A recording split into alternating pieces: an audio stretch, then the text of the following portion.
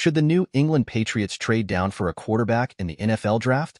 The New England Patriots find themselves at a crucial juncture as they seek to secure their franchise quarterback in the upcoming NFL draft.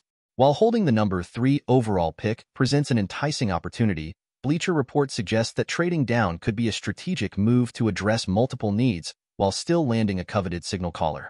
Undoubtedly, selecting a quarterback with the third overall pick would mark a significant step forward for the Patriots, but it may not address all of their pressing needs. With key positions like receiver and left tackle also requiring attention, trading down could allow New England to accumulate additional picks and fortify their roster. In this proposed scenario, the Patriots could strike a deal with the New York Giants to acquire the number 6 overall pick and select UNC quarterback Drake Maye. This strategy not only addresses the quarterback position but also affords the Patriots the opportunity to bolster other key areas within the first few rounds of the draft. However, executing such a trade is not without its challenges and risks. New England must carefully assess the likelihood of the Giants selecting Maye if they trade up, as well as the possibility of other quarterback-needy teams leapfrogging them in the draft order.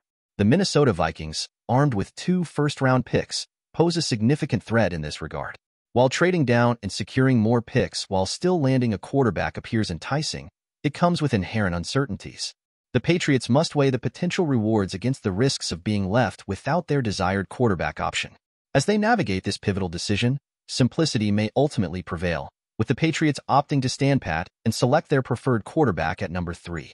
In the quest to revitalize the franchise, every decision carries immense weight. Whether the Patriots choose to trade down or stay put, their ultimate goal remains the same, to secure a cornerstone player who will lead them to success in the seasons to come. What are your thoughts on this strategy? Do you believe trading down is the right move for the Patriots, or should they stick to their original plan? Share your insights as we await the unfolding of this crucial draft decision.